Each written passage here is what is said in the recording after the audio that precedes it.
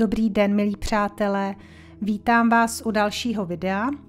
Tématem bude vstup Venuše do znamení lva a její retrogradita, která nás čeká a my si vysvětlíme podrobně, co to pro nás bude znamenat. Ale ještě než se na to podíváme, tak bych vás chtěla v rychlosti pozvat na můj online webinář na téma partnerská astrologie a v tomto díle se budeme zabývat jak vykládat synastrii. Když přiložíte dva horoskopy na sebe, tak tam vzniknou nějaké vazby, nějaké aspekty a toto je velmi zajímavá část astrologie. Určitě ji všichni znáte nebo jste o ní slyšeli a vy jistě víte, že nevěřím na náhody a proto také eh, setkávání se s určitými lidmi je pro nás eh, určitým životním úkolem. Eh, může nám být postupně během života jasnější a jasnější, proč si vybíráme určité typy lidí, které mají určité charakterové struktury a ne jiné. Často zjišťujeme, že jsme spojeni s lidmi, kteří odpovídají našim vlastním nevědomým a e, neprožitým součástem osobnosti. Každý určitý člověk nám dává e, speciální výuku. A my si budeme ukazovat takové kouzlo, které vznikne propojením dvou horoskopů. Eh, srovnání nám může ukázat vzájemnou harmonii, anebo třeba i nesoulad, ale také eh, významnost a nevýznamnost spojení dvou lidí. Takže pokud byste měli zájem o tuto tematiku, eh, budeme ji probírat velmi podrobně, tak se můžete přihlásit na můj e-mail viktizavináčcentrum.cz a volno mám ještě v pondělí 26. června od 18 hodin. Můžete mi napsat a domluvíme se na podrobnostech. A teď už se podíváme na téma, které bych vám chtěla přiblížit. Je to vstup Venuše do znamení lva.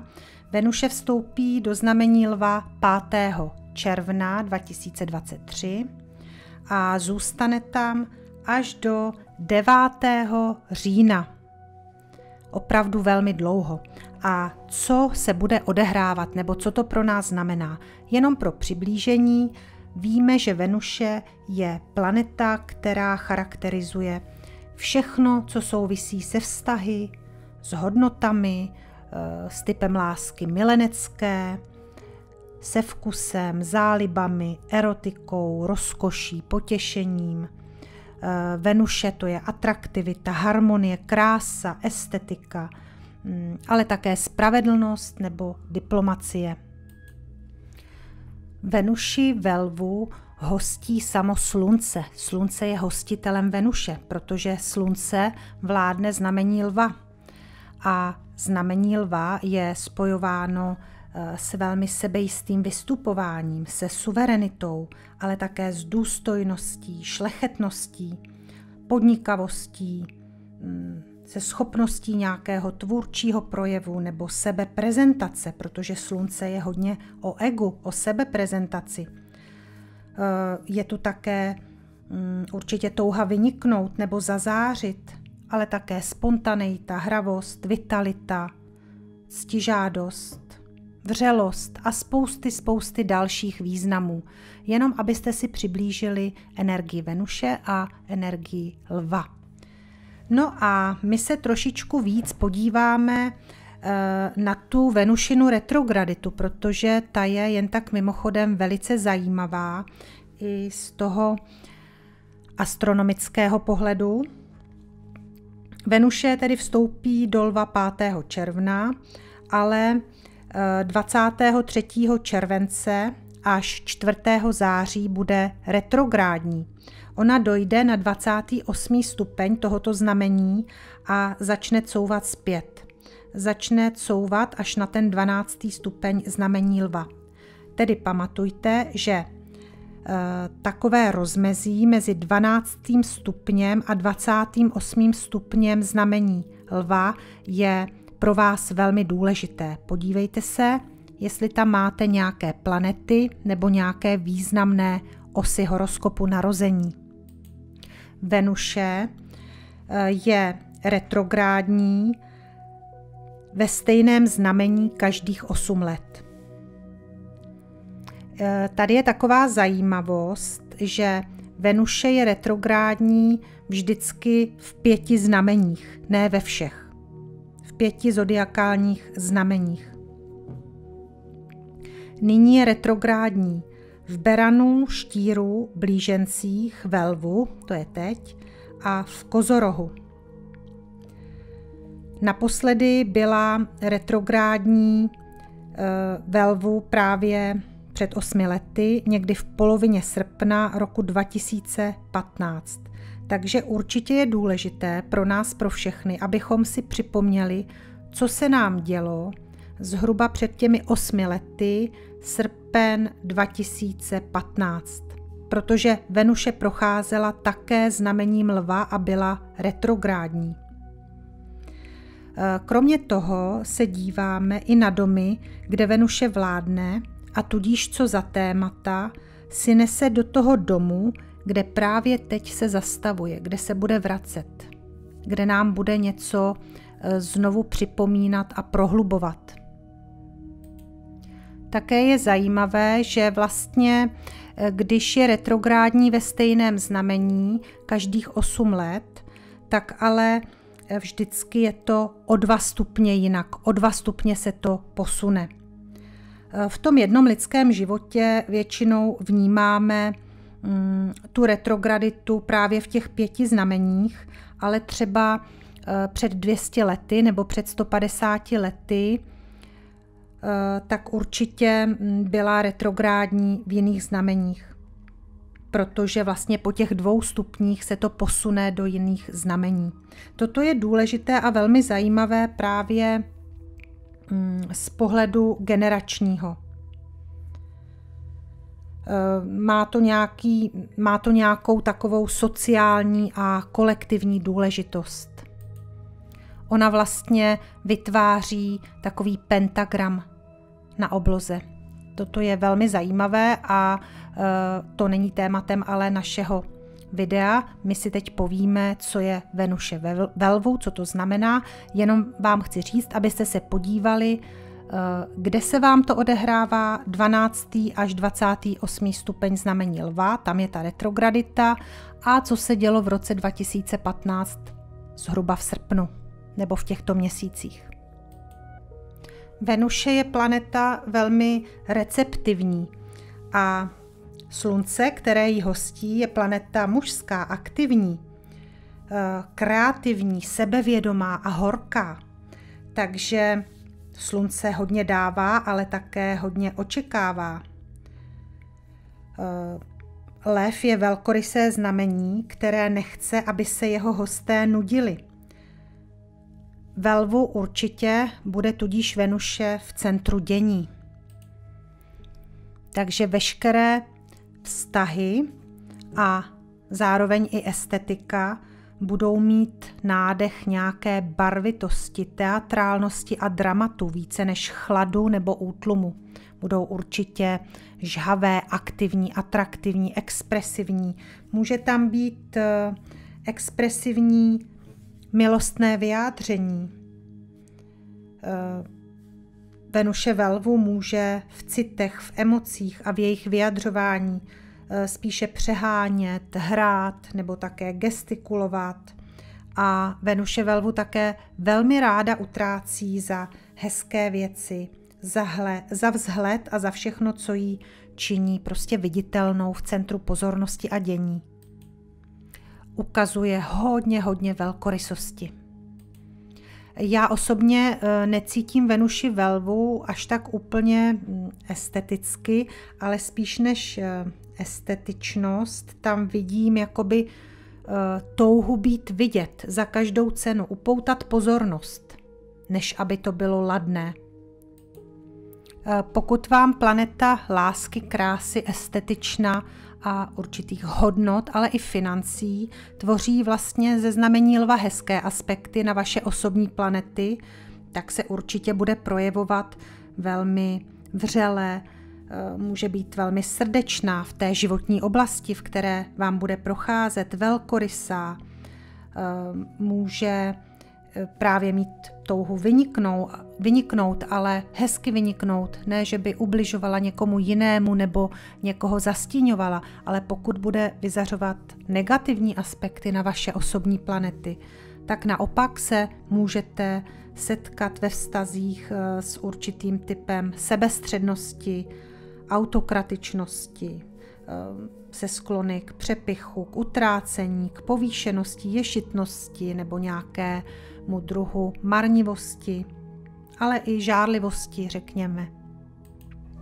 Obecně řečeno by ovšem Venuše jako planeta velmi dobrodějná a taková hm, diplomatická, nemající ráda konflikty, ehm, měla by způsobit určitě něco příjemného v té životní oblasti, kterou ona vlastně prochází.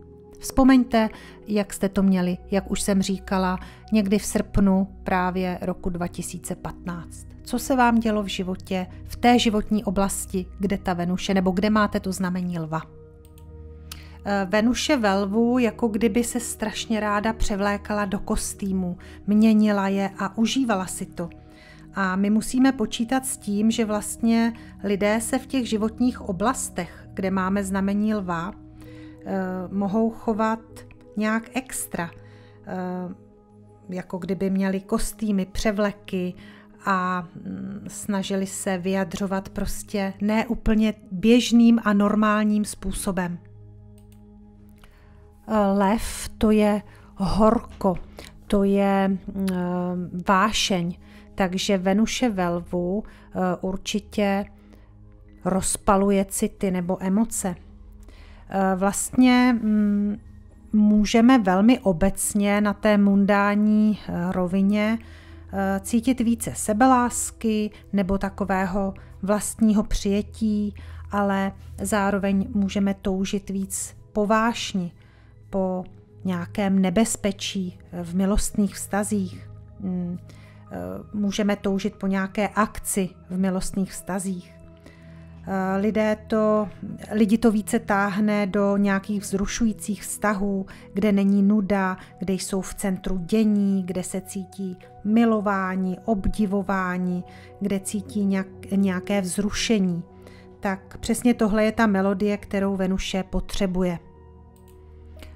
A protože ani v mytologii Venuše nebyla úplně věrná, tak eh, to ve mně úplně evokuje eh, klasický milostný trojúhelník, kdy v dlouhodobém vztahu se žena necítí úplně přijímána, milována, oceňována, obskakována a přijde někdo, kdo jí toto dá a ona z toho vztahu odchází nebo se tajně s někým schází, má touhu opět potom být milována, být v centru toho dění, obskakována, obšťastňována, eh, někdo jí něco může nakupovat, někam jí vozit, eh, strávit s ní čas, věnovat se jí. Takže přesně tohle můžeme my lidé více cítit v tuto dobu, tu touhu po něčem takovém.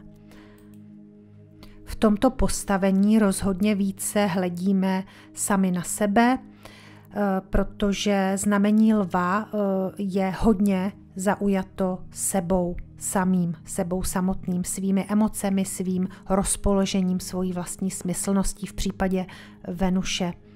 Eh, takže bereme možná méně ohledu na druhé a chceme za každou cenu tu vášeň, ten prožitek, eh, takovou tu teatrálnost, dramatičnost, akčnost. Je to v podstatě určitá zaslepenost eh, v tom negativním pohledu. Zase záleží, jaké vám to tvoří aspekty. Pozor na zaslepenost. Slunce zaslepuje všechno, co prochází jeho polem. Eh, možná člověk nemusí vidět všechny souvislosti v tu chvíli, protože podléhá eh, určité pudovosti, smyslnosti, tak jak to Venuše ráda, eh, ráda přivozuje do světa lidí. Možná bych vám doporučila, abyste v oblasti, kde vám vlastně Venuše velvu bude procházet a půjde i zpětným pohybem, nenaskakovali na takové nějaké to pozlátko v té oblasti. Eh, to, že chvíli se budu cítit dobře, bude něco mi velmi eh, mě bude velmi jakoby vyzdvihovat, tak spíše to vidět z té delší perspektivy nebo i z té perspektivy více směrem k druhým lidem, abych někomu neublížila, nebo aby to, co teď prožívám, neublížilo Eh, mě samotnému později. Přece jenom eh, v té tradiční astrologii ta retrogradita není úplně eh, pozitivní jev. Tak proto. Je zajímavé si také k té Venuši říci, co bude vytvářet na obloze za aspekty. Ona jako kdyby prochází znamením lva a než vlastně se stane retrográdní, tak se přibližuje k Marsu, který je také ve lvu. Ale ona se přiblíží na 3, 3,5 stupně od Marsu a potom začne couvat zpátky, takže se ho nedotkne, nespojí se s ním. Je to takový tanec, kdy ona běží za Marsem a pak se zastavuje, zpomaluje a vrací se zpátky a Mars postupuje dál do znamení Pany a e, jede si svůj vlastní příběh. E, má to určitou analogii i s takovým tím naším pozemským životem, jako kdyby, protože Mars a Venuše jsou, řekněme, milenci na té obloze a e, nedojde tam k tomu spojení, k tomu, co Venuše chce, jako kdyby si to rozmyslí a jde zpátky, vrací se zpátky. Jako kdyby si žena rozmyslela to, jestli půjde s milencem a odejde od rodiny a vrátila se zpátky. A vůbec celý, celý ten mm, průchod Venuše znamením lva má v sobě ještě další konsekvence, protože eh, Venuše vstoupí do znamení lva a hned vlastně eh, po tom vstupu vytvoří mm, někdy 5. 6. června eh, opozici na Pluto, a pak ještě tedy 10. až 12.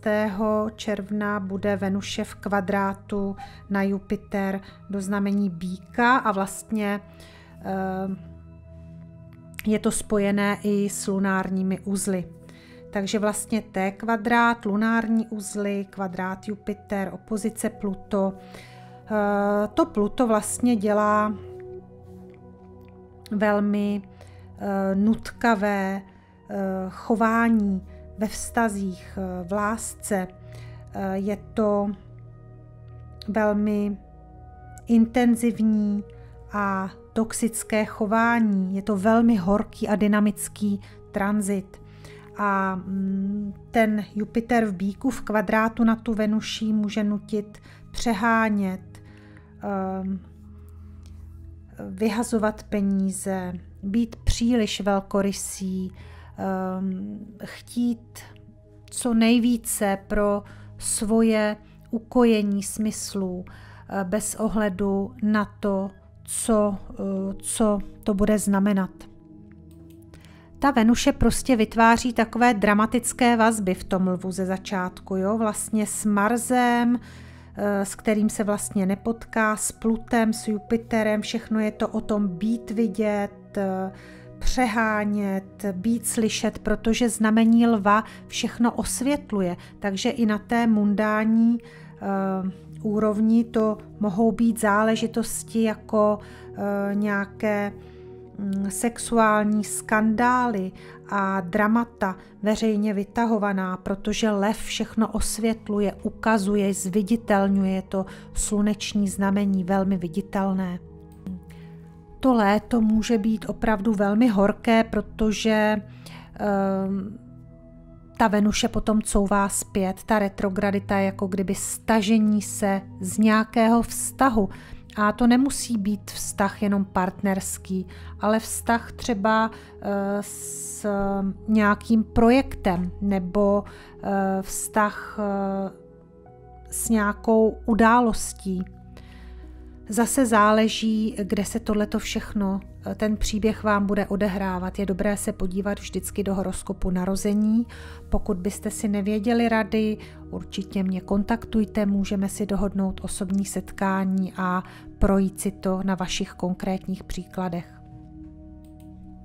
Takže přeji nám všem, ať tento tranzit, dlouhý tranzit Venuše znamením lva, krásně využijeme Eh, ku prospěch vlastní i ostatních lidí kolem nás a eh, ať z něj vytěžíme to nejkrásnější. Děkuji vám za pozornost a těším se na shledání.